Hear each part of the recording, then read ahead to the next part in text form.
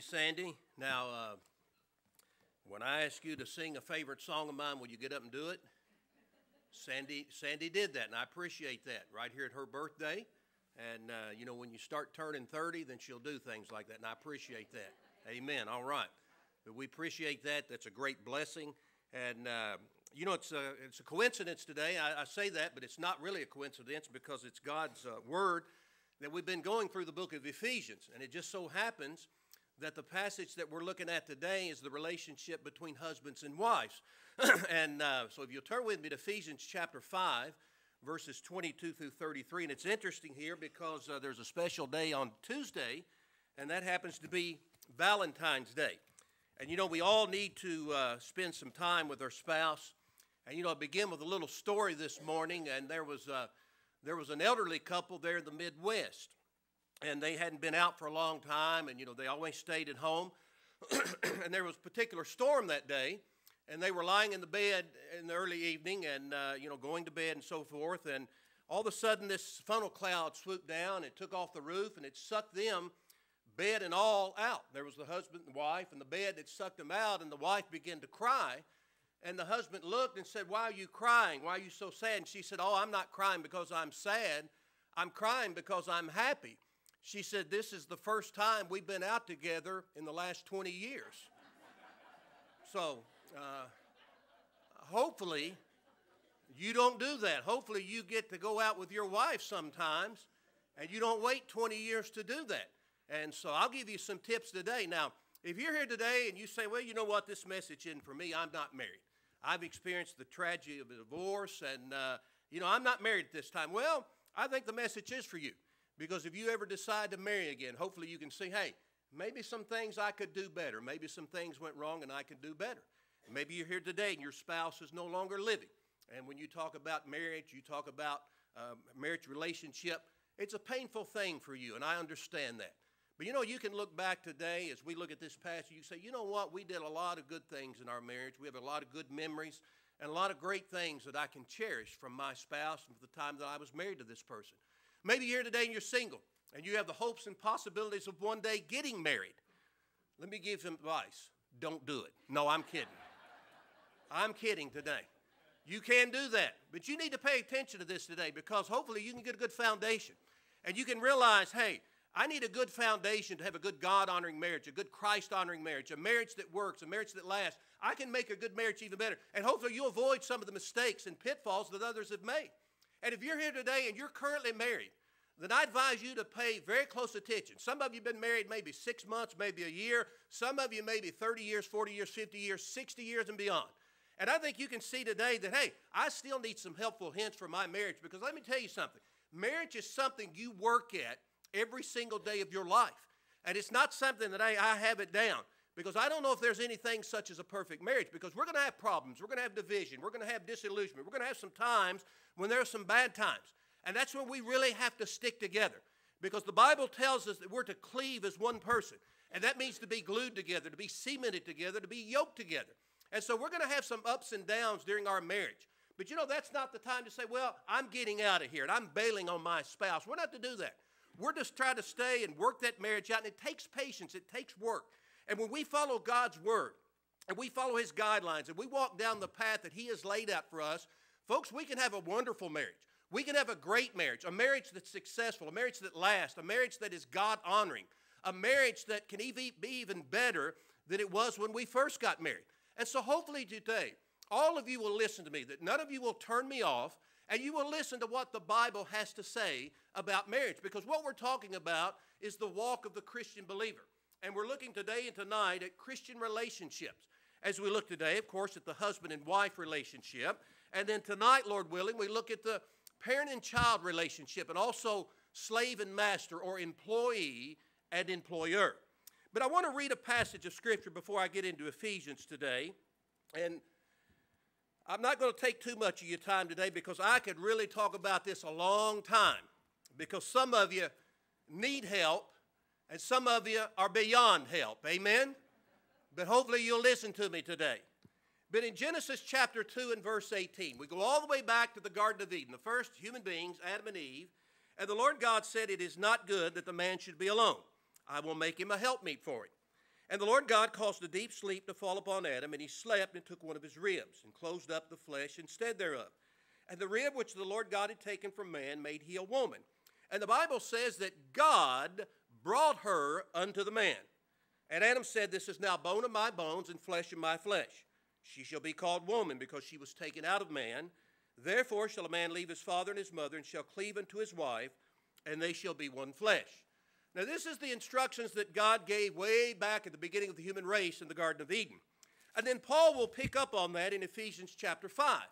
As he will pick up on that and he'll say, Look, here's what it takes to have a good God honoring marriage. Here's what it takes to have a marriage that works, a marriage that lasts. Here's what it takes to make a good marriage even better.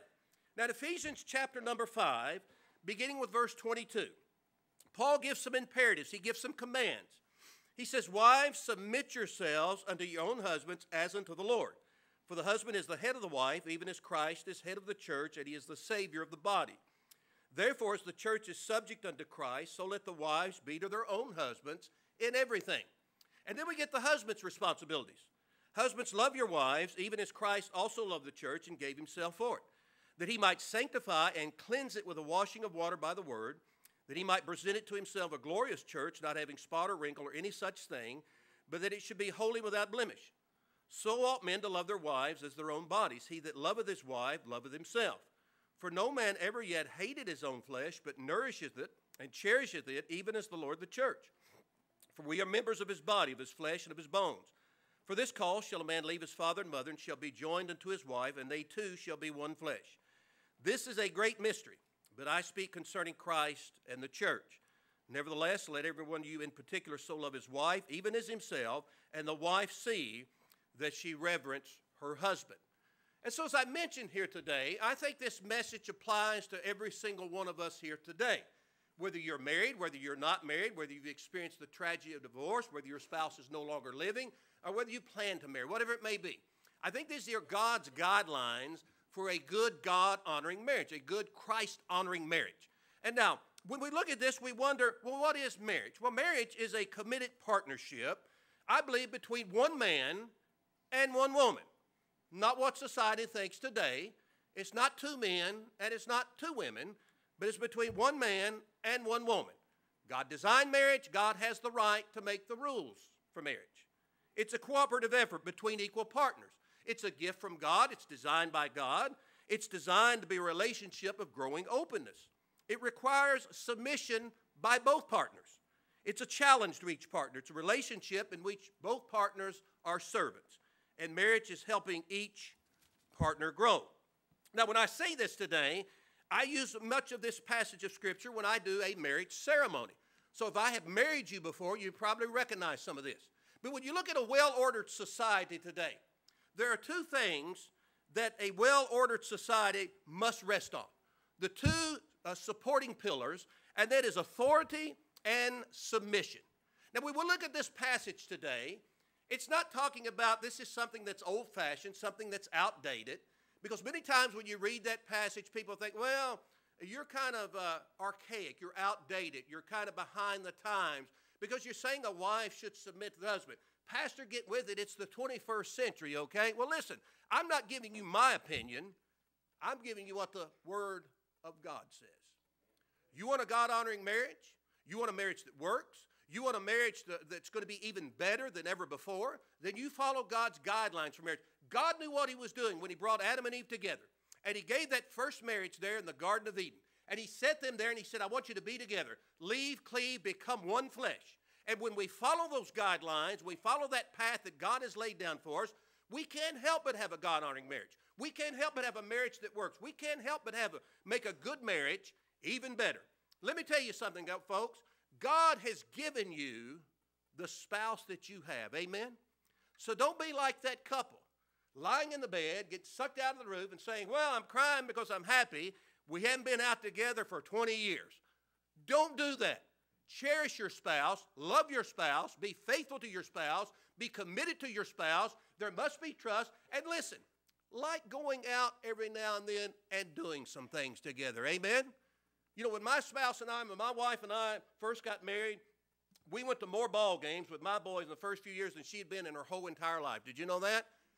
But I took my wife out, right? It's not where you go, but it's the motive in the heart, right? You go to a football game, a basketball game, a baseball game, but the thing about it is we were with one another. Amen? Now, some of you ladies look at me glaring at me right now, okay? But you hear what I'm saying, amen? Spend some time together. Now let's look at verses 22 through 24 quickly. These are the wives' responsibilities.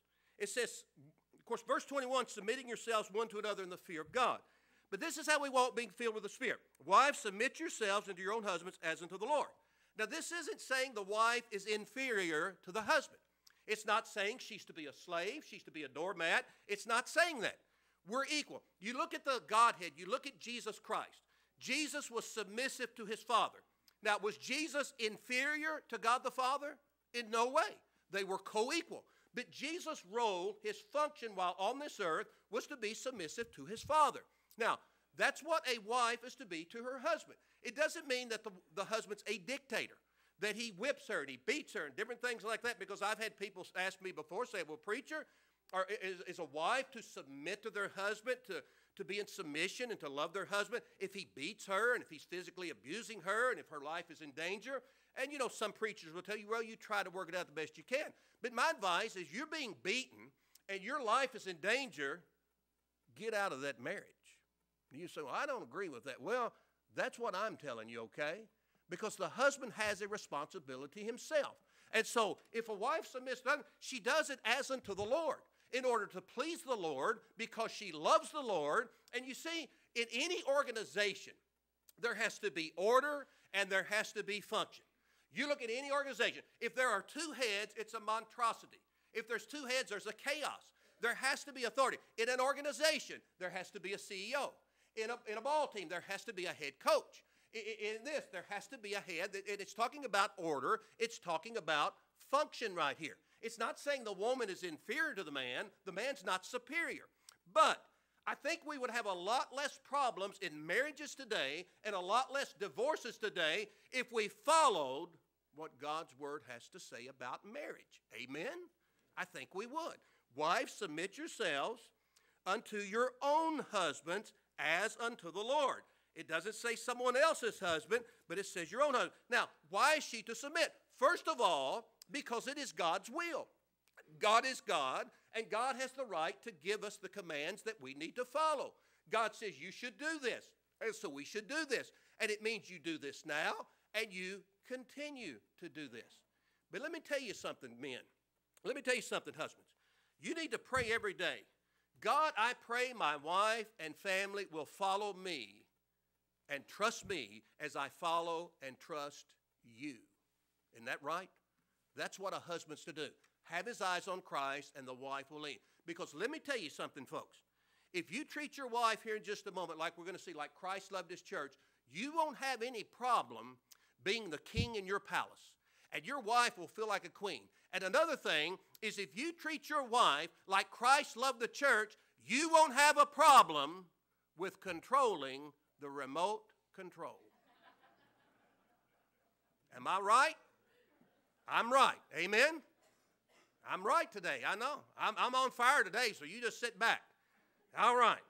Wives, submit yourselves unto your own husbands as unto the Lord. You do it unto the Lord. Because here's why the husband is the head of the wife. Now, that doesn't mean in being, but that means in authority. The husband has the ultimate authority in the family. He's to be the spiritual leader, the spiritual guide in the family. And you say, well, what if the husband's not coming to church? That sadly the wife has to take that role. So, husbands, we have a great responsibility. Men, we have a great responsibility to grow up and to be the spiritual leaders in our family that God demands of us. So, look at verse number 23. Husband's head of the wife, even as Christ is head of the church, he's the Savior of the body. Now, so first of all, uh, wife submit to her husband because it's God's will. Number two, we might say the husband's to submit to, his wife, to her wife, to his wife because the husband's the head of the wife. He's the authority of the wife. Doesn't mean he's superior, doesn't mean she's inferior, but that's the order and rank. And so when the wife is submissive to the husband, then, then you're going to have love and peace and fellowship, and you're going to have order within the home. Just the same way with the church. When the church is submissive to Christ, you're going to have order and you're going to have peace and fellowship and love within that church. Because you look at the relationship here even as Christ is head of the church, he's Savior of the body. So there's the marriage is symbolized compared to the relationship between Christ and his church. The church is to be submissive to Christ, the wife to be submissive to the husband. And so, don't go out here today and say, boy, he's preaching something back in the 1800s that the wife is never to go out of the house, that she's to sit around and cook and clean and take care of the children, and she's never to speak or say anything. That's not what this is saying here.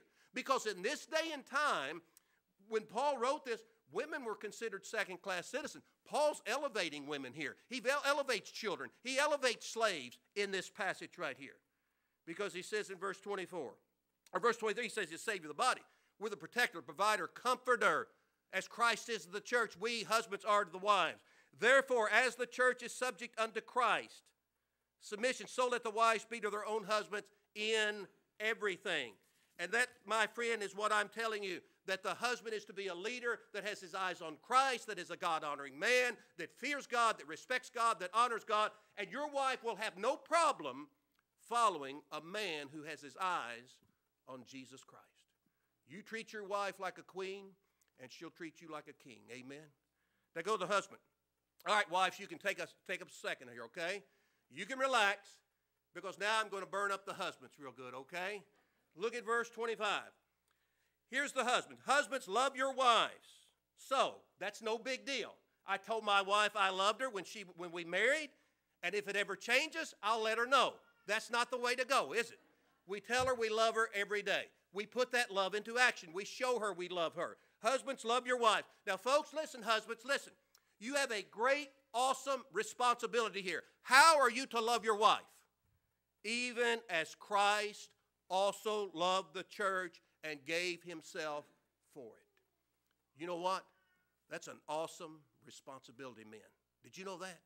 How did Christ love the church? How are we to love our wives? Sacrificially. It's an agape love, selfless, unselfish love, giving, sacrificial love. That sometimes we have to put aside our concerns to do what our wife wants to do.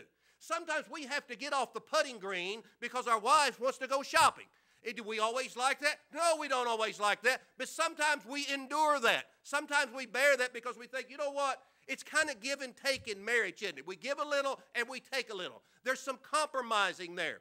But we're to love our wives, men, as Christ loved the church. And look at the example he set for us. He gave himself for the church. That means we love sacrificially, we love giving, we, we love in a selfless way. That it's not all about me. It's not all about my desires. It's not all about my tea time on Saturday morning. But it, sometimes we have to realize what our wives want. And we have to do some things. And I ask you today, men, if you've been married for a certain amount of time, have you ever had to compromise in your marriage? Say amen. Boy, there's a lot of weak men out there today. Do you know it? They're scared to say anything, aren't you?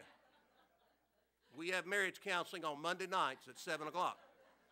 But, but the thing about it is we have to compromise sometimes. Sometimes maybe it's not the movie we want to watch, but we watch it anyway. Sometimes it's Dancing with the Stars on Monday night when Monday night football's on. And I'm watching some celebrities dance instead of watching the opening kickoff. But sometimes you have to compromise, okay? Sometimes you do that. Husbands, love your wives, the great responsibility, even as Christ loved the church and gave himself for it. He died for the church. And what we see in verse 25 is the past. Now, verse 26, we see the present. Christ did this that he might sanctify and cleanse it with the washing of water by the word. You see, the church right now is in that betrothal period. It's in that engagement period. A Jewish wedding, they would be engaged for up to a year. They didn't have sexual relationship, they didn't live together, but they're being prepared for their groom. Okay? The bride's being prepared for the groom. Christ is preparing the church today, cleansing us and sanctifying us and purifying us for that day when he will present the church to himself. You read in the book of the Revelation, chapter 19, the marriage of the Lamb. And we come there, and the church will be presented to Christ, the groom. That's the period we're in now. We're in that betrothal period. He's cleansing us and purifying us. But when we look at the husband and wife, let me tell you something. When you get married, and I always say this at a wedding service when you get married, both of you are off limits to anyone else. Did you know that? You know, you don't flirt with another person, you don't put compromise in such situation. You are off limits to anyone else because that's one thing that would destroy marriage. When you go out and you're beginning to have uh, relations or you may have communication with a person of the opposite sex. It doesn't look good, okay? It doesn't work. God gave you a spouse. Be faithful to that spouse, trust that spouse, communicate, and most of all, love that spouse, and you'll get rid of a lot of these problems. Amen? That's what you have to do. There's the present. Look at the future. Verse 27 that he might present it to himself, a glorious church, a splendid church, a gorgeous church, a gorgeous bride, not having spot or wrinkle or any such thing, that it should be holy and without blemish. That's the church today. Okay, that is the church that we're being purified, we're being cleansed, we're being sanctified. One day the church will be presented to Jesus Christ. And I always mention this. You know, the, the bride before her wedding. I've gone into the room of a bride and she's, you know, she's dressing, putting makeup on, the hair's fixed and all that. And I'll tell you one thing. I've done a lot of weddings over my days. I've never seen an ugly bride. There's been some close. but I've never seen an ugly one, okay? Especially, I, am just going to be comfortable with, okay? That's, that's the way it is. They're always beautiful. They're always clean and prepared and purified. Their hair's right. And, the veil and the gown and everything is perfect. And of course, the men sometimes they don't really care. You know, it doesn't matter if their tie's straightened. It doesn't matter if they put deodorant on her. It doesn't really matter with that, long as they show up. But the thing about it, the wife's always beautiful. And so Jesus has died for the church. He's cleansing and purifying the church so that he might present it to himself a glorious church. You know, it's the wife is being purified and cleansed in order to be presented to that bridegroom. You see the picture of Christ and the church throughout marriage here. That's why we need to take our marriages, folks, listen, very seriously, amen. It's more than a piece of paper. It's more than a legal contract. It's more than saying I do. It's when you mesh together and you become one person, you become one life, where you share your hopes and your goals and your dreams with one another, where you love one another beyond anything, that nothing can separate you. That's the type of marriage that God has ordained. Now look in verse 29. So ought men to love their wives as their own bodies. He that loveth his wife loveth himself. Says you nourish and you cherish your body. Men, you go out and you feed yourself, don't you? You cherish your body, you nourish your body. It, it, it means warmth and affection, appreciation, and care. Christ loves the church. He takes care of us. He protects us. He feeds us. He clothes us. He, he, he's there for us. That's that way the husband is to be for the wife. That we're to be there, the protector, the comforter, the provider. That we're there to nourish and cherish, and that we love her above anything else. Folks, let me tell you something. Husbands, your wife should be your best friend. Did you know that? And the opposite should be your best friend. That nothing should separate you. You know, I'm going to give you one more thing here before I quit, but have you ever seen the T-shirt that uh, you know it's it's it's uh, a guy's T-shirt and he's wearing that and he says, "I'm so sad today because my wife ran off with my best friend." You ever seen that? She ran off my best friend and I've lost my best friend. Okay, you ever got that? Y'all a little slow today. So I'm not worried about my wife, but I've lost my best friend because my wife ran off my best friend and I no longer have my best friend. That's not the way it's supposed to be, okay? The heat's starting to get to you, isn't it?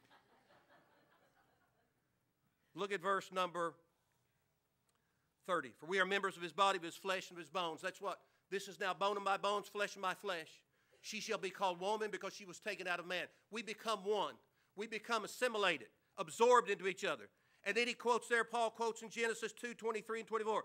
For this cause shall a man leave his father and mother and shall be joined unto his wife, and they two shall be one flesh. That's what he's talking about. Jesus says in Matthew chapter 19, What therefore God hath joined together, let not man put asunder, let not man separate. He says, This is a great mystery. But I speak concerning Christ and the church. Nevertheless, let every one of you in particular. This is the kicker right here, folks. It says, Let everyone in you, particular, individually, so love his wife, even as himself. And the wife see that she reverence, that she respect her husband.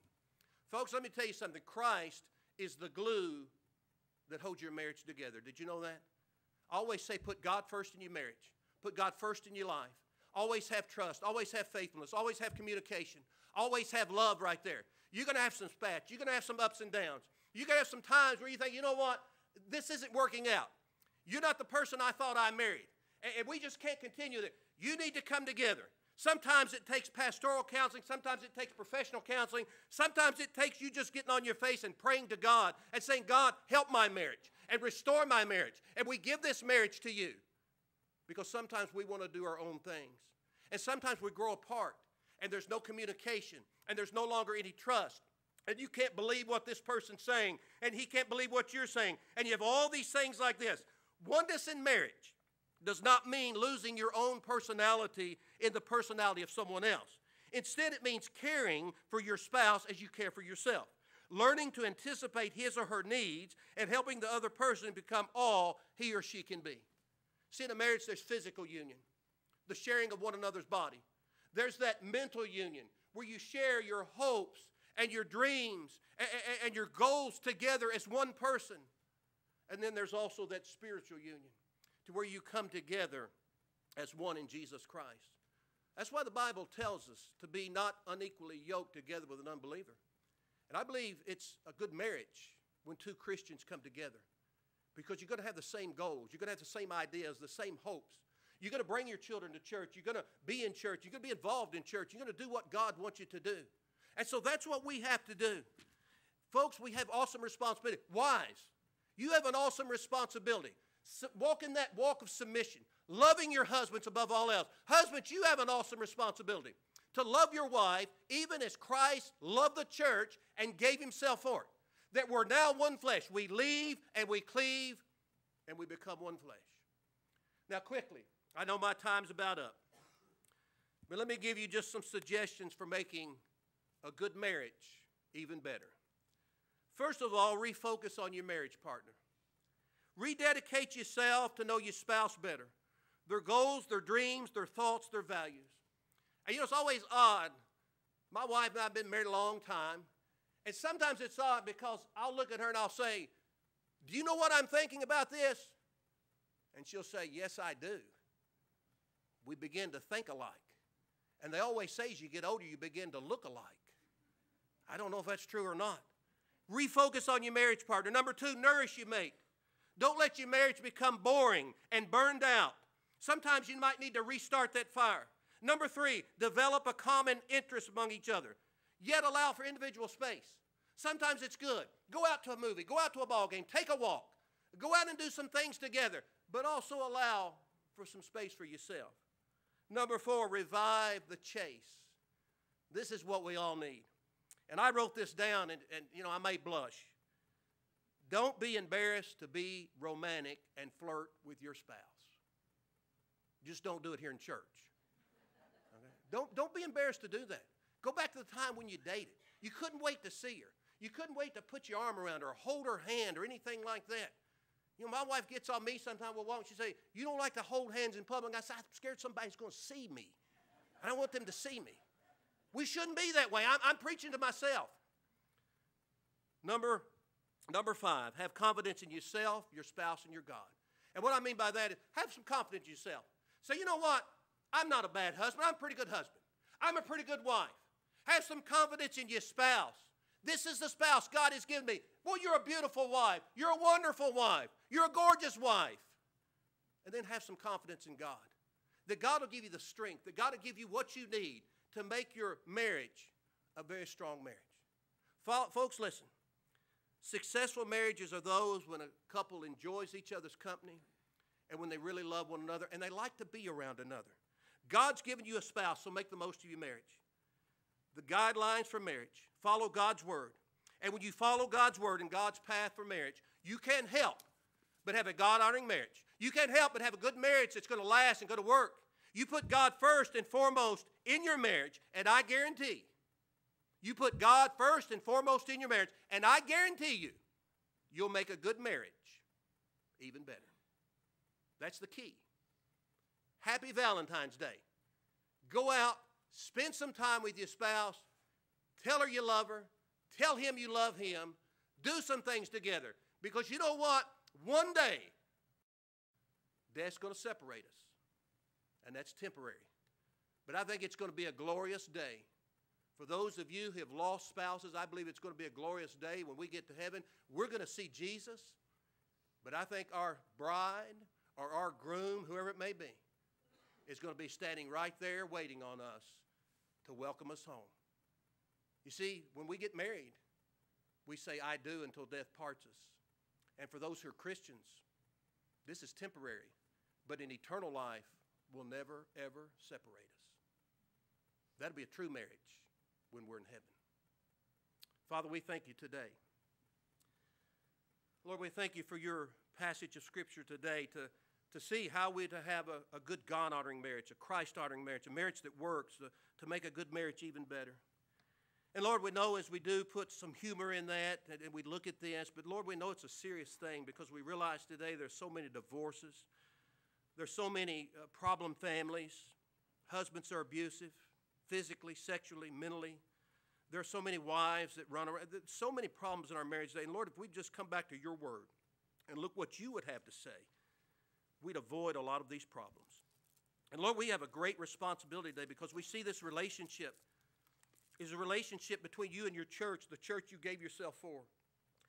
And now you're cleansing it and purifying it and sanctifying that one day you're going to present it to yourself a glorious church, a wonderful church. And Lord, help us to take our marriages seriously and realize that there are uh, great things in that that we can do. Help us to improve. Help us to love more and to trust more and to be faithful. Father, I pray today if there's one here without Christ, may you touch their hearts today. May they realize that Jesus died for their sins on Calvary's cross, was buried, and rose again. May they come forward accepting Christ as Savior, following Him in the waters of baptism. Father, there may be other needs here today. Someone to unite with the fellowship of the church. They've been saved, they've been scripturally baptized, and this is the place you would have them. Lord, whatever it may be today, we give this time to you, and we pray that your will would be done. In Jesus' name we pray. Amen. Number two.